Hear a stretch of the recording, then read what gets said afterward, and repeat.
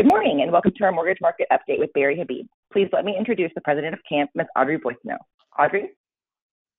Good morning. Thank you so much, Megan Jackson. And thank you so much to Barry Habib and Megan Anderson for being on with us, in addition to Kevin Casey, our president elect for CAMP, who is with us today too. Thank you for all of you joining us. We're really looking forward to hearing from Barry and what's been going on this week. Um, we have an update on Thursday with Dave Luna. So make sure you look for the flyers and um, updates on social media for that and register. On Friday, we are doing an NMLS eight hour class with Dave Luna. So if you're looking to get your NMLS taken care of while you're in this lockdown phase, this is a good opportunity. We're doing another one on May 28th with two times in May that you'll be able to tune in and get your NMLS taken care of for the year.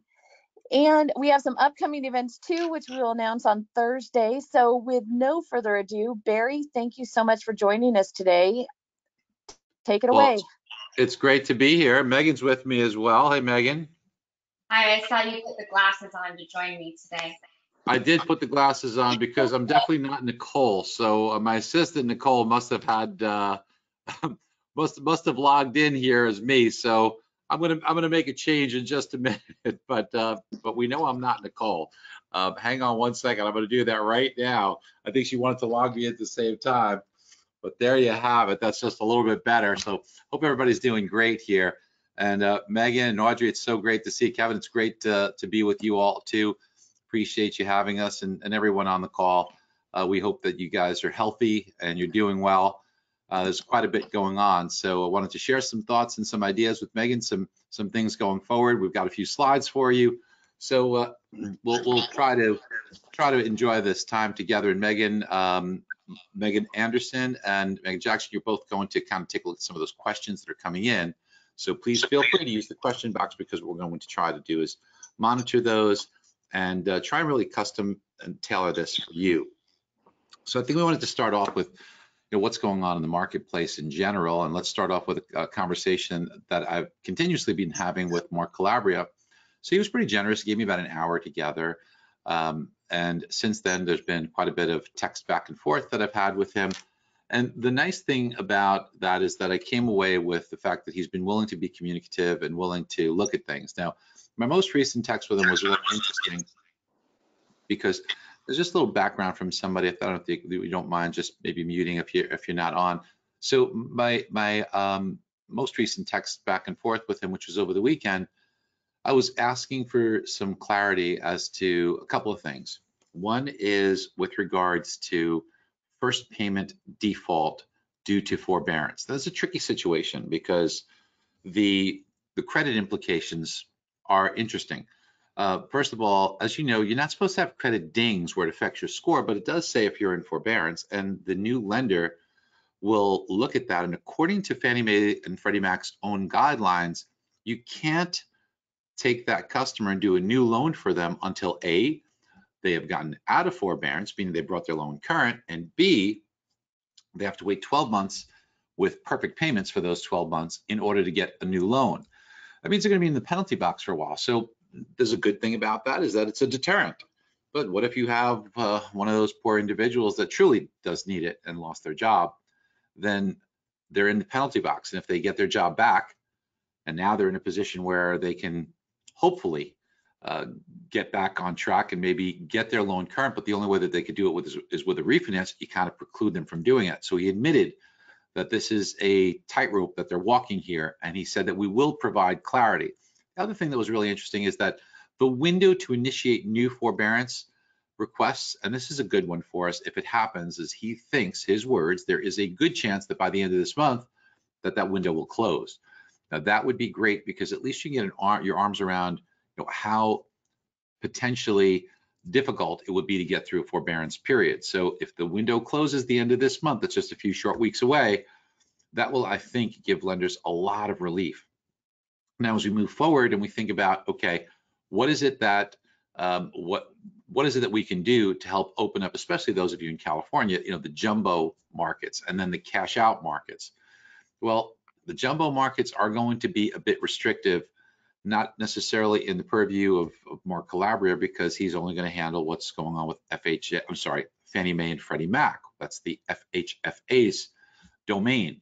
So jumbo loans have been more restrictive, restrictive on their own, and that's just a function of the elevated unemployment rate, which provides some more risk out there. So we got to wait and see what happens with that. Now we're monitoring that closely. And Megan, I mean, you you and I have been kind of working on that with Dan Habib in our office, and we've been we've been really coming up with with internal ways to calculate it. That the most recent numbers that we got from the BLS, the Bureau of Labor Statistics, they said 14.7%. But we we calculate those of you that are MBS Highway subscribers, you know, we we showed you, we take you behind the curtain, we show you how the correct way to calculate it is.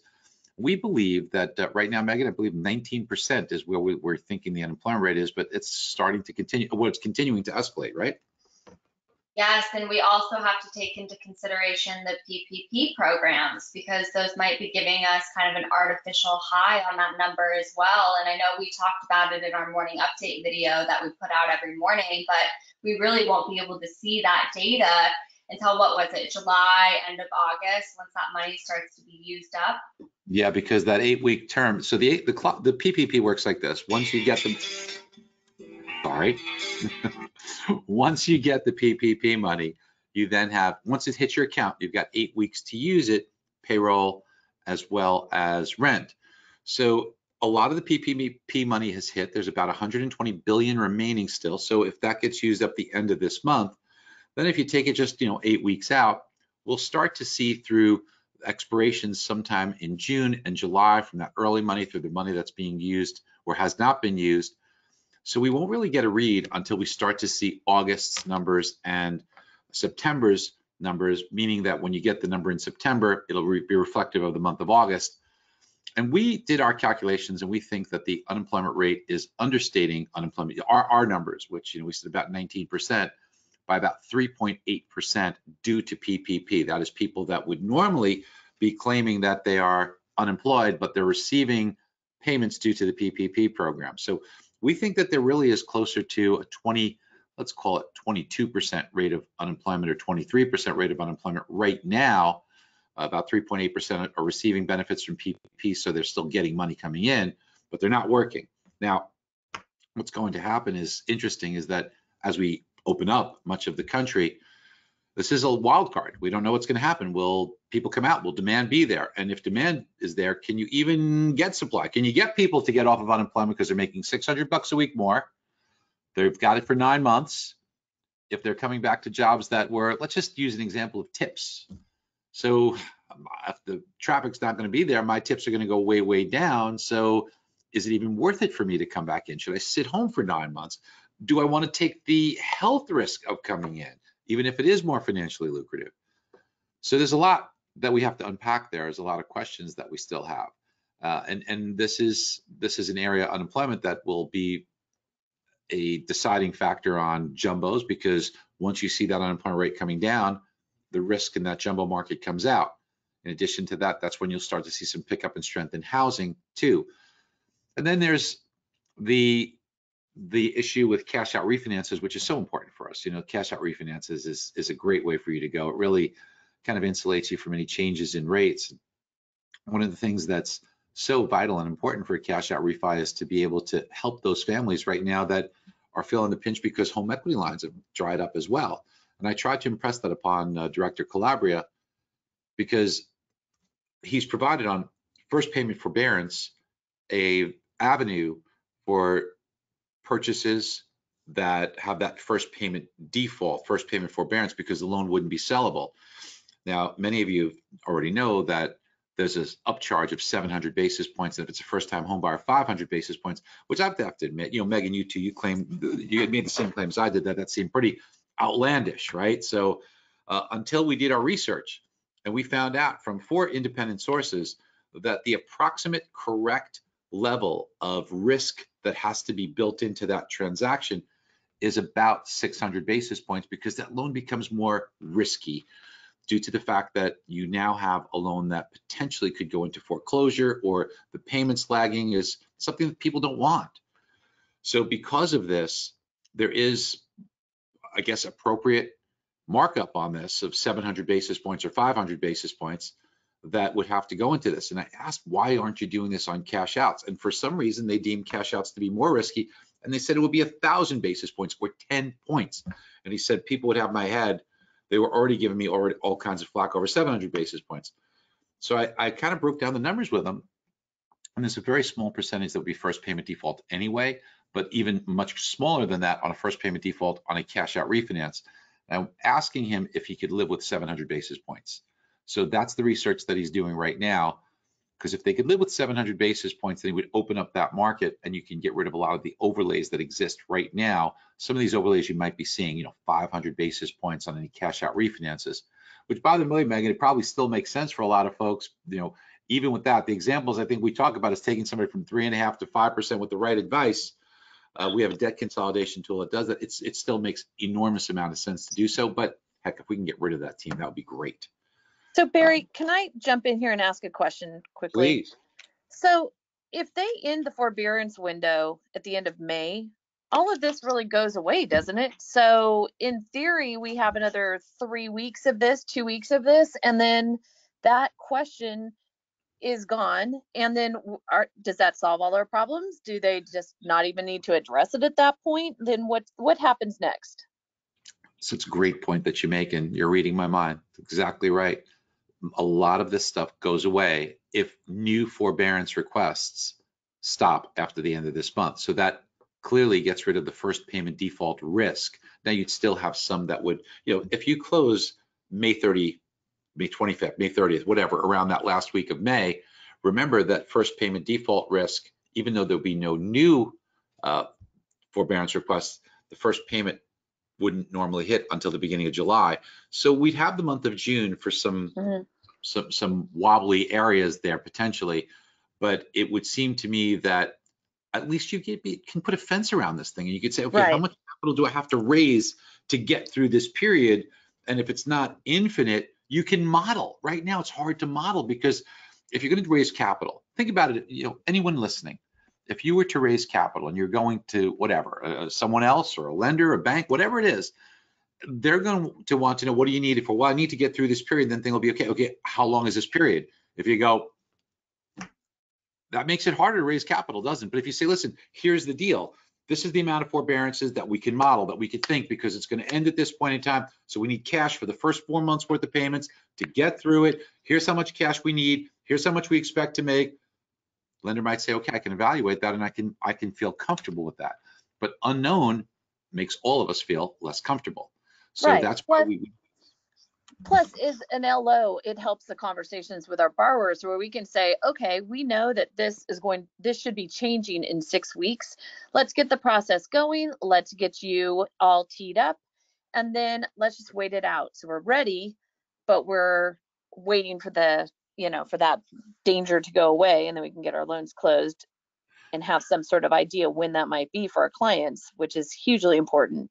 So, so correct, Audrey. And in addition to that, I mean, just think about it. There's a lot of lenders right now telling their customers that if there's any doubt, go into forbearance. So you, you might think to yourself, why in the world would they want to do this? In fact, Audrey, here's a statistic that most people don't know. Do you know that nearly 30% of people in forbearance actually made the payments Yes. for April? 30%. Yep. So why, why? And everybody is wondering why, why, why? Here's why. Is because if you get into forbearance, well, then you know what the limit is on the amount of cash you have to lay out, and that's four months, because then the FHFA starts to pick it up after that. But if you wait a month or two months before you start, and then the forbearance clock starts, well, now you have potentially six or seven months or eight months, so you make your exposure much greater. So all they're trying to do is, again, the unknown is worse than, you know, than, than having a difficult time to get through, because at least you can model it and get around it and manage cash flow around it. Unknown is a very difficult thing. So they're just searching for certainty, even if it hurts. Right. Well, it's interesting. I'm sure you're hearing the stories from some of the larger banks where somebody literally just clicks on the button asking or inquiring like what are 'em what's the deal with a forbearance and they're in forbearance now they can't make their payment so they have to battle through that. So that's that must be what that's all about is let's start the clock now. Interesting. That's exactly what it is. That's exactly what it is. We talked to everyone, Megan, myself, Dan, we talked to all of these different lenders and you know, they're having a tough time. I mean, thank goodness we got past the margin call issue. That was the big one to get because that was inflicting the most pain uh, in the most acute situation. So once we were able to get past that, I'm very proud of our team. I'm proud of Dan and Megan, myself, getting in front of the Fed and getting them to stop the crazy purchase. They didn't want to do that. They just didn't understand how the plumbing worked. So that was the big one. And now the good news is, is that all that margin money that they laid out, which was so painful and putting them on the brink of insolvency, a lot of those closings are taking place and they're getting that money back. So they're becoming, they're healing, they're becoming more whole. And that is helping them to get through this forbearance period of time, which is why it would be great if it stopped so we can, we can move on. And, and look, if I could talk about why I think this is such a great thing going forward for us is because the place we're going to is just absolutely incredible. You know, the inconveniences that we are dealing with right now should be viewed as exactly that. They're they're clearly giving us heartburn and they're inconvenient. But look, obviously we're in much better places than some of those individuals that are their inconvenience and their hardship right now is to put food on the table, right? So we're not in that position. So perspective is important. However, where we're going is absolutely wonderful. So what I'd like to do, Megan, if you wouldn't mind coming back, is one of the things that we need to be doing is some great stuff with social media right now. And Megan, why don't we talk to that a little bit? And then what I'm going to do is I'm going to bring up some slides that will be relevant for you because I really want to share with you and show you just how good this is about to get for us. Okay, so we'll get a little excited here. Um, I'm excited about it, and I think that the, that we're headed for a wonderful place.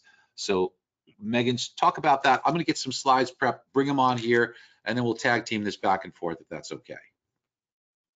So I just want to mention as far as social media is concerned, right now, you guys know this, we're in social distancing. We are unable to go into the office. A lot of us, I know the world is starting to slowly open back up.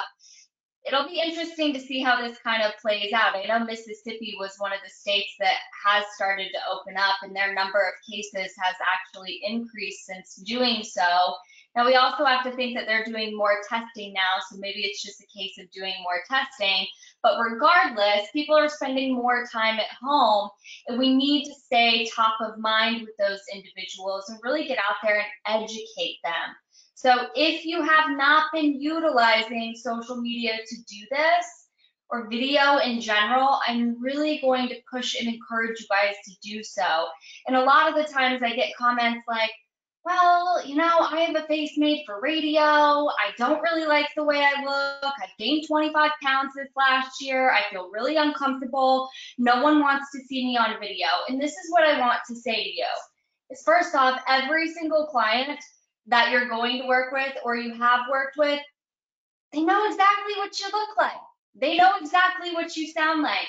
You don't actually sound any different on video or on a recording than you do normally, as much as you might think you do. You sound exactly the same. And if you think otherwise, record yourself and play it for someone that you trust that won't judge you. And I guarantee they'll come back and say, no, that sounds exactly like you. And we really need to get over our fears of judgment when it comes to video because you're creating these videos not because you feel uncomfortable in your body. You're creating these because you want to help that client mitigate their fear, help them feel more confident in their decision making, and ultimately make your job easier by answering questions and concerns and pain points that they have through videos so that you don't have to do it on the phone or through email. We are trying to optimize our time and stay top of mind. So we do have a tool in MBS Highway to help with this. It's called Social Studio. We have scripts in there, you know, why is now a good opportunity to buy, clarifying forbearance, things like that. And I mean, if you can read, you can do this video. And if you feel uncomfortable and you know that's a trigger, just don't go back and watch it. And So- and Megan so kindly before we started offered to do a social media class for us for camp, and we're going to take her up on that. So we'll get that set up in the next week or so, and um, get her teed up so that you can learn everything she has to share with us, which is wonderful. So thank you, Megan, for that, and thank you for Barry to Barry for letting that happen too. We really appreciate it. Oh yeah, Me- Megan, Megan's as good as it gets. I mean, she should be very helpful. So I'd like to share my screen. You just have to give me permission to uh, be able to share my screen, and I've got some things to go over with you guys here. Uh, so the first thing I, I want to uh, go over, so I'm just waiting for that permission. There we go. Make my show my screen now. I believe you guys can see where we are. So um, essentially, when I was on um, this, this was on Fox, was one of the Fox ones. You know, we talked about interest rates being lower and where they're headed, and you know, sure enough, we we had made some crazy predictions on rates. They all came to be. Uh, I made the one about the rates going to a half a percent. People wanted to debate me. Nobody believed me on the 10 year. Sure enough, we got there. We got down to 0.31 actually. And uh, even though we've seen them come up a little bit, they're still at really low rates. And what I will tell you is that you can expect a low rate environment for a very long time. Look, since the beginning of mankind, everywhere in the world, every place in the world, every time government debt rises, it puts pressure on interest rates to decline. So you're going to continue to see, based upon all the debt that we have now put ourselves in, slower growth because you have to service that debt. So there's less income to do things with that's discretionary, less less funds to do things that are discretionary. So much has to go to servicing debt, and that will continue to put a drag on the economy. You're going to have rates pressured lower. with the highest rates anywhere in the world practically, and the Fed who's now pushed rates essentially to zero. The last time they did that, they kept them there for seven years after the Great Recession. There's not going to be any from the bottom up pressure on rates. You will have top down pressure on rates. So you're going to see rates in a position where they will be continuously on the lower bound. Now rates should probably be about two and five eighths, two and three quarters. You've got some premiums layered there. You've got a premium for capacity. You've got a premium for forbearance risk. And you've got a premium for the elevated risk that's associated with unemployment. So if you were to take those out of there, you'd be at much lower rates than you have now. But the rates we have now, let's face it, they're freaking awesome, right? So what we need to be able to do is understand that there's going to be an enormous opportunity market-wise for us. Now, jumbos will come back. You know, you're going to have forbearance that will go away. A lot of these things will start to happen and we'll be able to unpack them.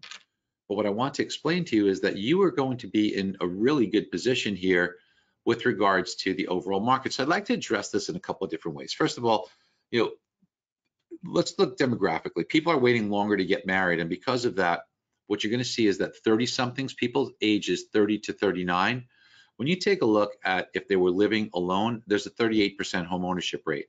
We see here that there's about an 80% home ownership rate with just having one child. So there's an enormous jump.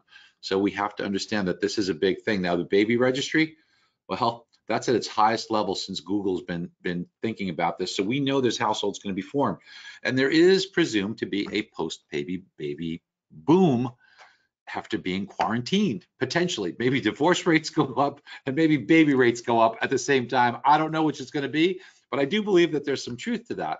And if that's the case, that means there's going to be a big demand on home ownership just at a time when inventory is very, very tight to begin with, the demographics are really favorable team.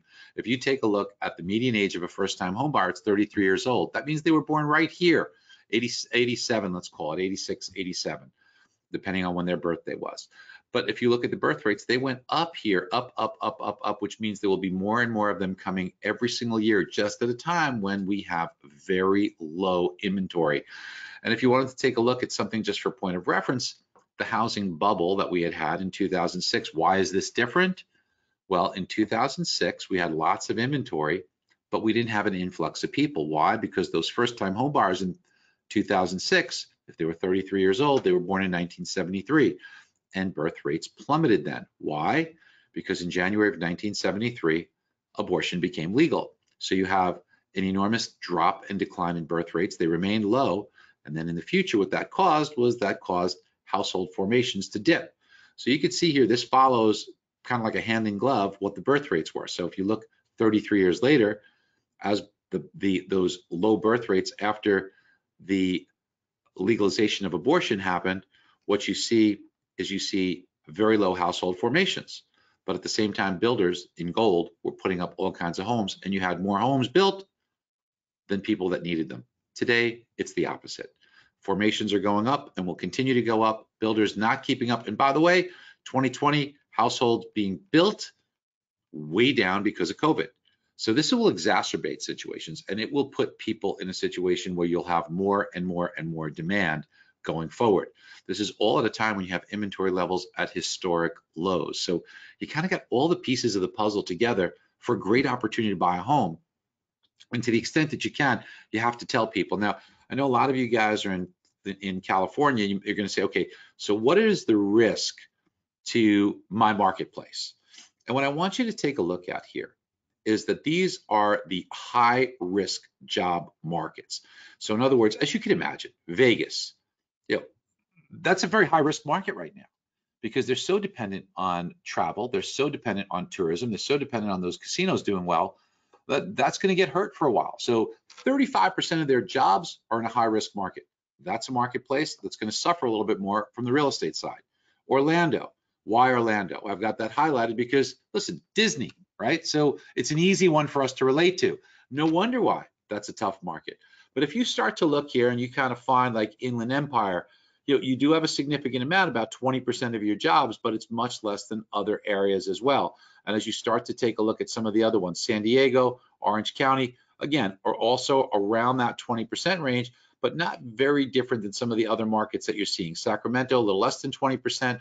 You get into the Bay Area, a little bit less than that, maybe 18% or so. So you can start to see that, you know, San Jose is 16%. The California markets should hold up a little bit better, especially when you take a look at the low risk job losses. So we start to take a look at low risk jobs, the percentage of jobs that should be very well protected during COVID. Sacramento is second in the country. Okay, San Diego is fourth in the country.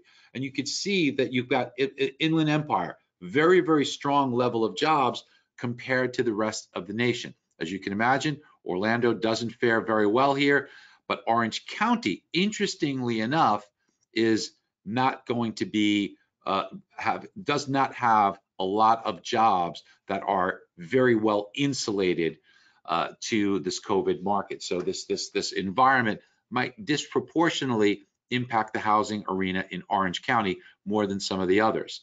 Now, when you take a look at the overall environment, the search for homes for sale, well, it's never been higher than it is right now. So what's the fair value of housing?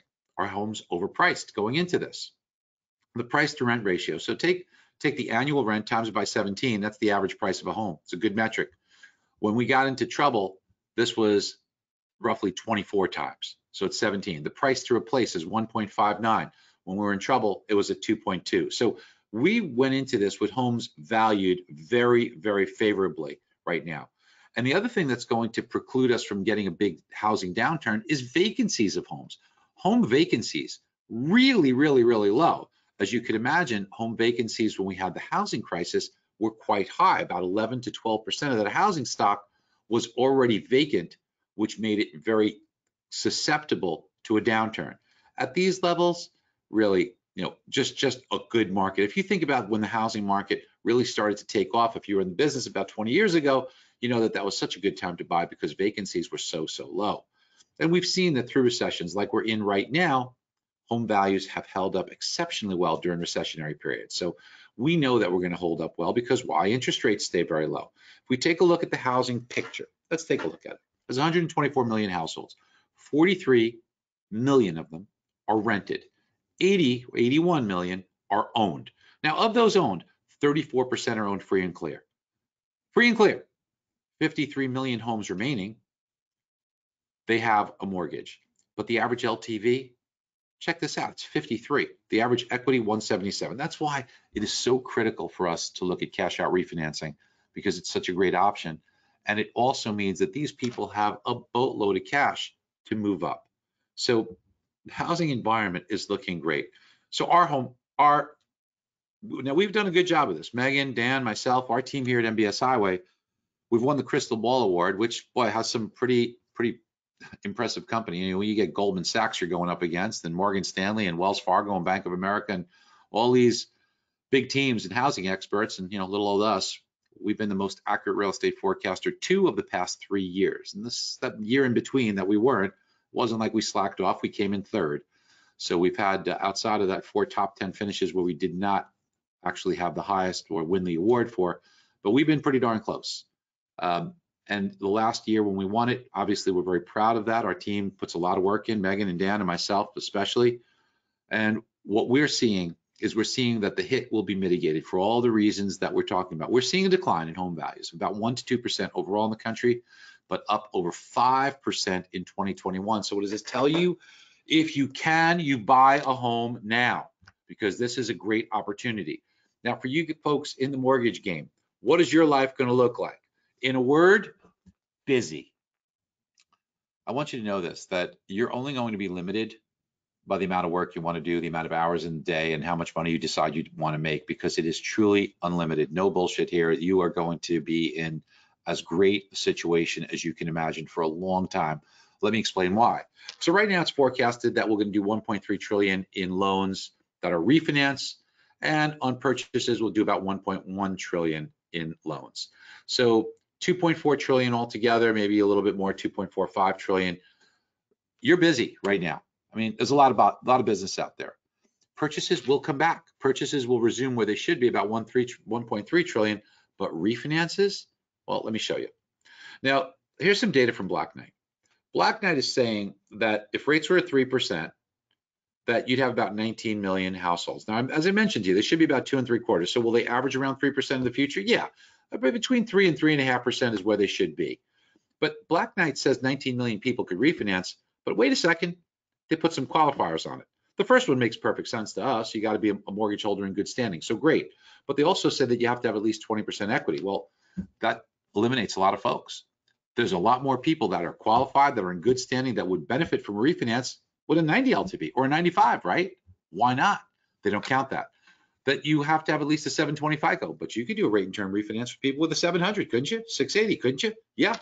And they have to save three quarters of a percent. Well, especially where you are, some of those loan amounts that you have, they're 400,000 or more, a half a percent would make sense. Or if you do a very low or no closing cost transaction, maybe even less than that where it would make sense. So we think that this is a really conservative number, but even with that conservative nature, 19.2 million homeowners, even if your loan amount were only 250,000, that's 4.8 trillion. Team, just think about that in refinances. If we are having a tough time handling 1.3 trillion, this is an avalanche of transactions that you will have to pick from. So this is an important point for us to think about. I know that it's easy to get caught up in some of the aggravation that's out there. And believe me, I'm not kind of disrespecting it at all. I originated loans for over 20 years. I'm one of you folks. So I know how much of a disappointment it is to not do a loan or have guidelines change on you or be more strict. It's, it's, it's a lot of heartburn there. But what I'm trying to say is, is that change your focus, change your mindset. Don't, to the extent you can, don't pay as much mind to the ones you can't do because there's a universe of loans that you can do out there. So this is really good news for your team and those restrictions will be lifted. You know, we get this forbearance thing to stop, a lot will improve. Country starts opening up, we will start to see unemployment come down. And then God willing next year when we get a vaccine and we're, we're in a position where things really change, boy, oh boy, oh boy, are we going to be in great shape and great position. Team, really, you are, you pick the right business to be in. It's about as good as it gets. Gosh, Barry, that is amazing and exactly what we all need to hear about four times a day. So thank you very much for that. And just another reminder that when you're talking about national statistics and national appreciation and depreciation, I mean, in the Bay Area and in California, a lot of times our numbers are a little different or better. So make sure you're looking and focusing on our local markets and not watching the national news to get your information. And on that, I wanted to say that Megan had, I had asked Met, your Megan whether your models were modeling what you're projecting is coming, and it sounds like you are. And she had had a really good explanation for that. So when they are doing their demo, after this or when Megan is showing us their program, showing us how to predict to your clients what is going to happen, you guys have already adjusted for that, right? Give me a, give me a zip code in the Bay Area. Exactly. Uh, Give me one. 94596. yeah. Is that right? What'd you say? Is that right? 945? 96. 94596. Okay, team. So what this will do is it knows you're in Contra Costa County, but it also goes specific to the zip code and it will tell you, boy, you picked a nice neighborhood there. Median home price 1.236 million. Now I will tell you that even though you've got these rates of appreciation, if the home value were less than this, the rates of appreciation would probably be greater because we changed this. This will reflect, this was supposed to be like six and a half percent rate of appreciation. due to COVID, it's going to be 4.3 because remember, much of this for 2020 was already built in through March. So this is adjusting for, you know, taking into consideration the benefit, but then the decrease that we expect to see. So you're still going to have a great year in uh, in, in this zip code in within Contra Costa County. And if you take a look over the next five years, you see what's happening here. Now, remember, this is adjusted for purchase price. The higher the purchase price, the lower the numbers would be. So if you said it's a $3.5 million home, and you use that number, you'll see the numbers change slightly. So they decrease.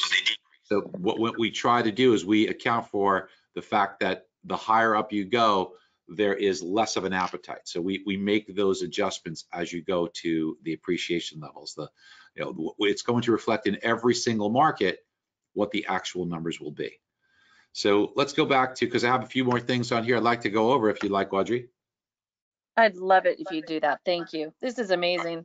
So um, Megan, you know, let's let's kind of go through this together. So if somebody purchased a home a year and a half ago, and that home were you know, for 500,000 to put a number on it and the loan amount were $400,000. And they said, okay, I can benefit from a refinance today. I could save some money. I could save $230 a month on a refinance by saving seven eighths of a percent on that. So you guys come across this all the time, right? So what, what happens is, is that on a 15 year, they could even save more in rate, but it would cost them more. And then we take a look at what the closing cost would be, and let's just pick a number here just to make it easy. So they're going to save 230, but their closing costs are 2,300. Now, if I ask pretty much anybody, anybody, when would they break even? What would the answer be? Right, you guys can can kind of tell me. I, I bet you everybody's saying, you know, 10 months, right? That's not the case. It's not 10 months. Let's show you why. So it's not 10 months because yes, indeed, you're saving 230, and that would change the payment from 27.55 to 25.25. That's the $230 a month but that's what your payment is. That's not what you're saving because part of the payment is principal. That's your own money. Why would you include your own money? If it's your own money, if you're putting money from your left pocket into your right pocket, are you saving that money? No, you're not saving that money. You didn't save money on that. You're saving interest, and the interest is a savings of $264 a month. The rest is going to principal, which is your own money. So it's not 2300 in closing cost divided by 230. It's 2300 in closing cost divided by 264 savings and interest. And what you have is it's not 10 months. In this case, it's nine months. Many times it's eight months. And what I'm trying to impress upon you is having the right information that your competition doesn't have will destroy your competition. And even other tools out there that try and do this, nobody gets this right. We're the only ones that get it right. Get the right information. This is taken right from MBS Highway. And this is the kind of stuff we do. And if you take a look on a 15 year, you'd never break even on a 15 year because your payment's more. But what you could see is that on a 15 year, your savings in interest is $500 a month. So the break-in even period is five months on a 15 year. Okay, so this is the way to do it. You know, Megan was talking about that opportunity that you all have right now to do it right with a cash out refinance. And there are still a lot of those. And even if that cash out refinance exists where you have to have a little bit of a premium, take a cash out refinance for a home at four and a quarter percent rate. And the original purchase was in 2017. The original loan was $400,000.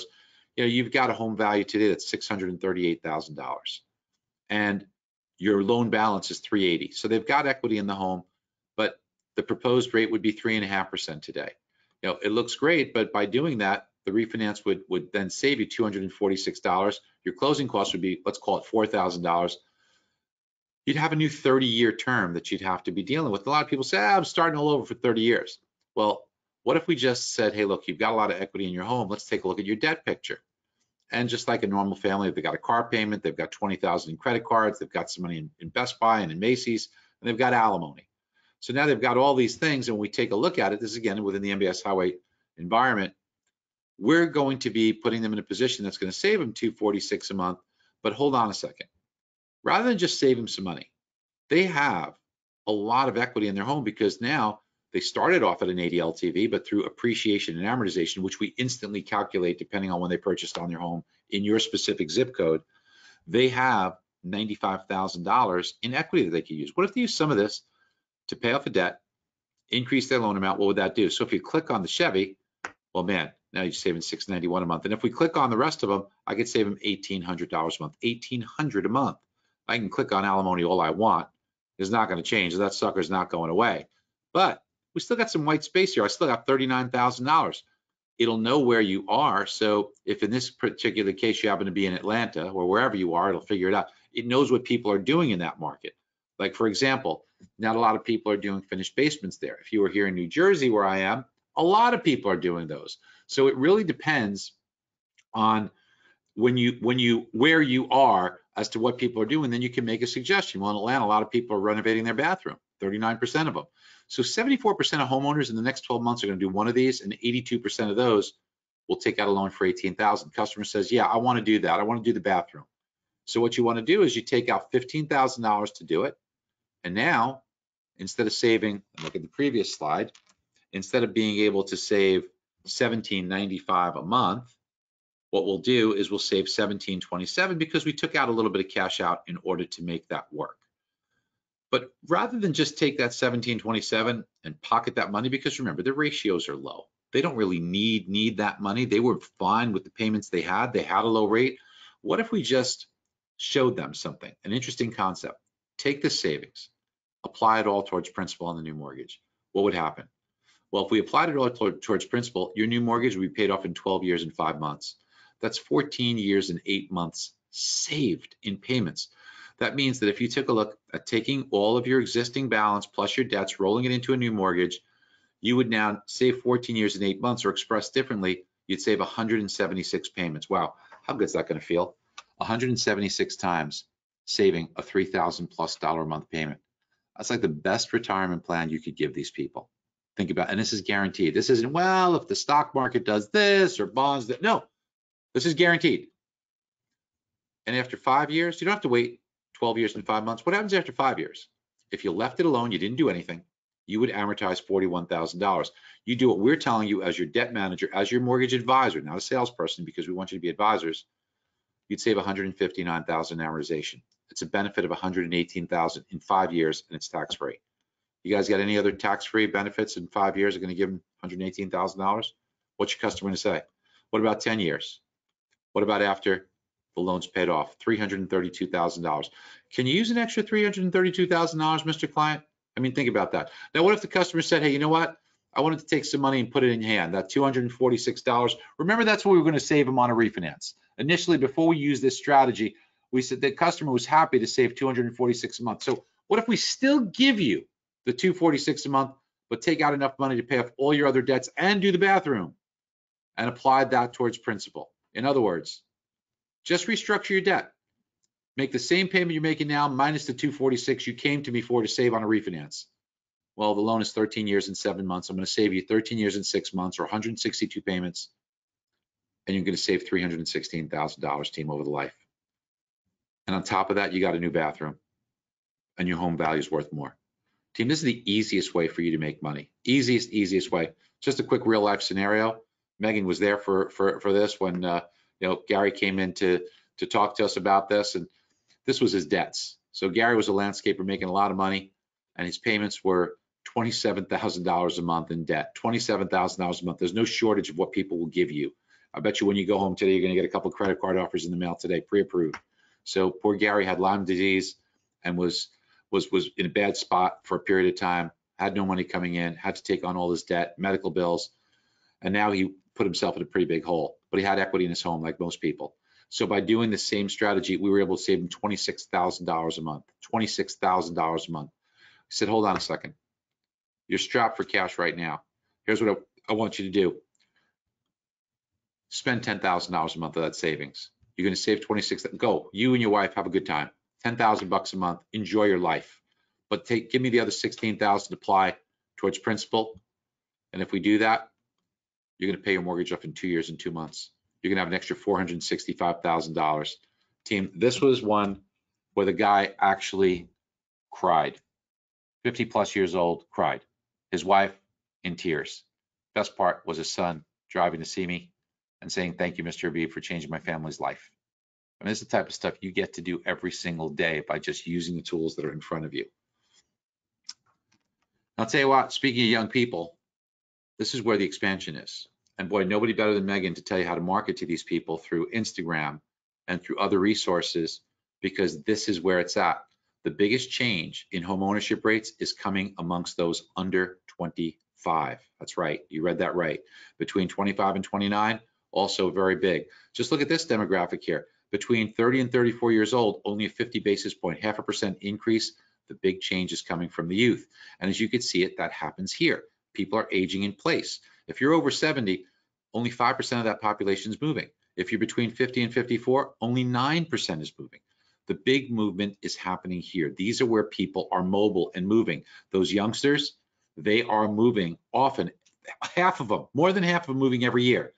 But even if you're just between 30 and 35, 22% of those people are moving every year. That's the market. If you're a realtor, if you want to help your realtor, this is what you have to go after because this is where the transactions are. So that means when realtors who are typically much older, they need somebody like you to teach them how to market to this. They need somebody like Megan who will teach them how to do this type of marketing, which is where it's all at. And one of the best ways, Megan mentioned this, was Social Studio. We've got all the scripts to do it. And all you got to do is read a one minute script. We turn your computer into a teleprompter. You could change the, the font size. You could change the scroll speed. You accesses your camera. You could do it on your phone. You click it. You can do it on your computer. You click it and then it reads it for a minute. If you like it, great. You don't like it, do it again. One click, post it to Facebook, Instagram, LinkedIn. Megan, you want to chime in on this one? It's so easy to use and it's so helpful when you're first getting started with videos to just ease into it and get comfortable. And I'm telling you, it's gonna save you time. One of my favorite scripts that I've heard a lot of talk about is when the Fed cut rates to zero and you guys were getting bombarded with phone calls. Does this mean I get a 0% mortgage rate?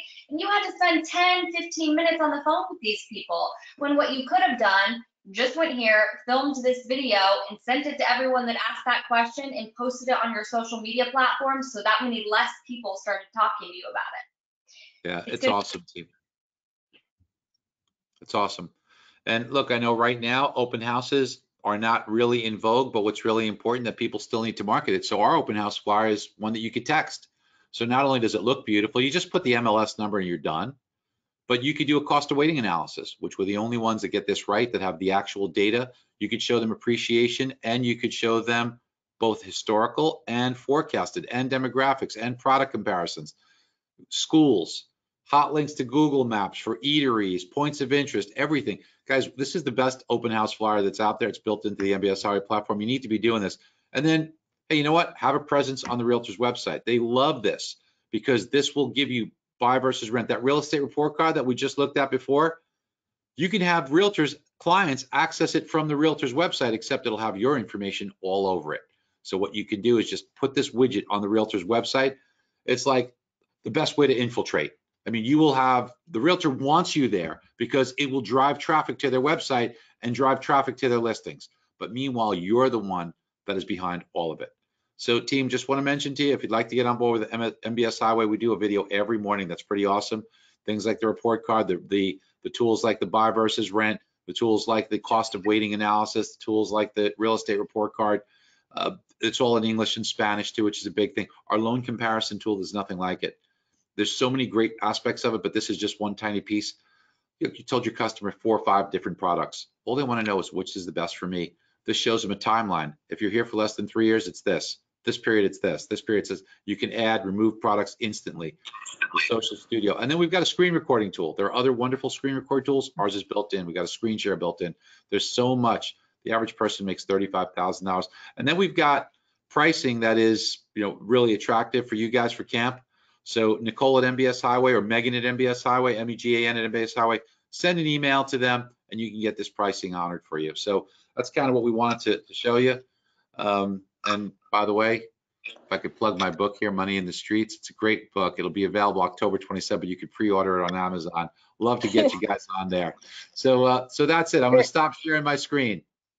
All right, we're gonna re, we're gonna send the offer to camp members from MBS Highway out again this afternoon. So look for it. There will be a link where you can sign up with their service and have access to all these tools. And I didn't know you were going to be an author. That's very exciting. Can't wait. Thank you. Thank you. It's a really good book. We got some really high praise. Randy Zuckerberg wrote the foreword and Tony Robbins wrote a beautiful piece in there too. So it's it's a really meaningful book. I think you guys will like it if it's uh if you're going through a great time, it'll help you get to your next level. If you're going through a tough time, and we all do from time to time, it'll help you get through it.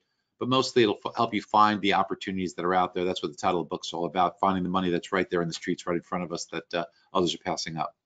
Well, thank you so much for everything, both of you, and to Megan and to Kevin.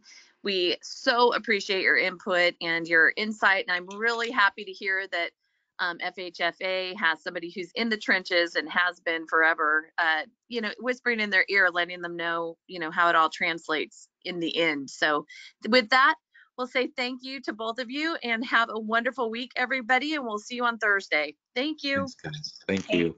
Bye-bye. Bye.